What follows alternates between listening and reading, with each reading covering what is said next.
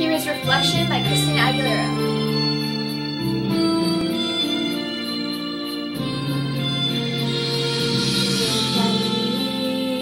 I will never pass for the perfect bride or the perfect daughter. Can it be? I'm not meant to play this part. Now I see.